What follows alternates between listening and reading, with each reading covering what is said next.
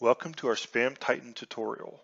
My name is Brian Schrift and I'm going to be walking you through some of the tips that I use to quickly and efficiently process my spam quarantine report. This report arrives at 3 p.m. daily if you have received spam in the last 24 hours.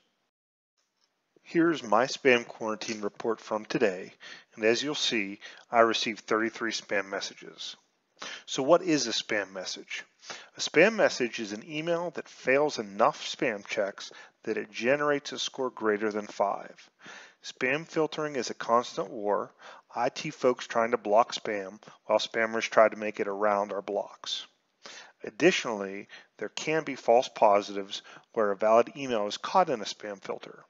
And that's what I'm going to give you some tips on how to quickly review.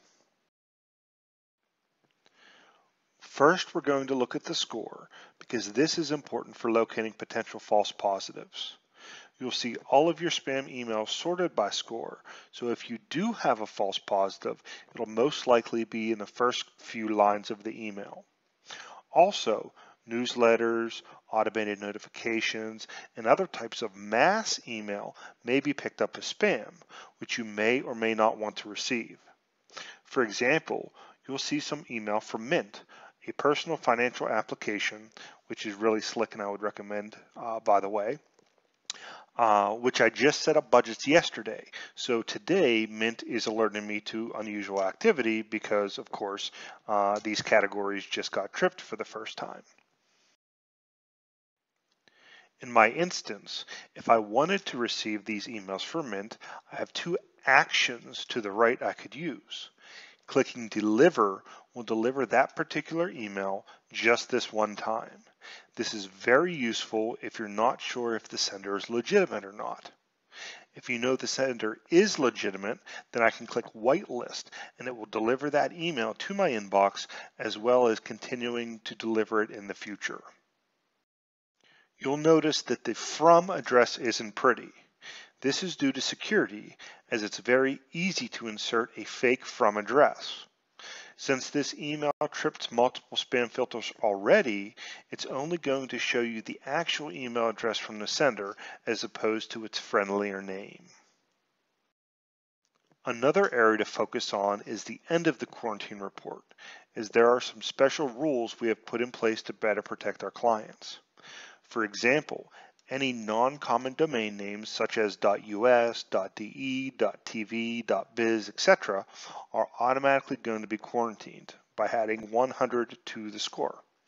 This is because one of the popular methods of spamming and phishing is to register and use these non-standard domain names. For example, I recommend you visit phishingourclients.com and, re and read how we registered a fake domain name, precisionbs.tech, and phished our clients. Anyone can do this as it's very simple. If you run across a legitimate sender who's using one of these non-standard domain names, simply whitelist them and they won't be quarantined again in the future. We do this to draw special attention again to these non-standard domain names due to the increase of spam and phishing. You'll also see a number of options and links at the bottom of the email.